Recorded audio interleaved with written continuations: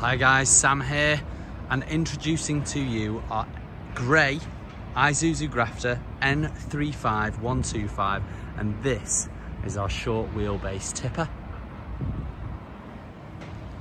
We have these available in both white and grey. You will have already seen a vehicle um, about this particular model um, but it was around about four or five months ago. We've sold a few since then so I thought I'd do a brand new one just to let you know the kind of tippers that we've got around us in stock available to order.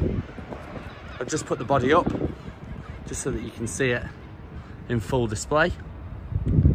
Payload of 1200. This one in particular is built by BritTip.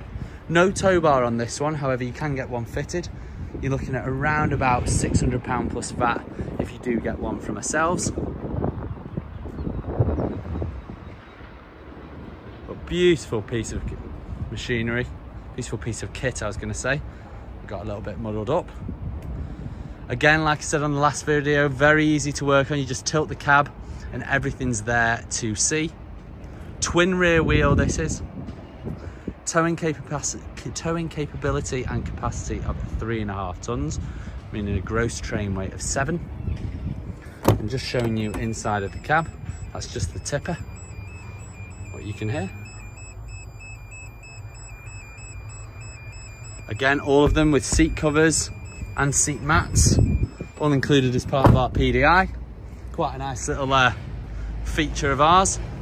Don't know whether everybody does it, however we do. Um, we are Aquila Truck Centres. We have around seven sites across the Midlands. Main Isuzu dealer, main MAN dealer. Right now we're focusing on this N35125 Isuzu Grafter tipper short wheelbase, body length of 3125 millimeters, so 3.125 millimeters. And there she is. If you're interested, please give us a shout. Again, it's Sam from Aquila Trucks, and this is our Isuzu Grafter in grey. They are available in white. Thanks very much.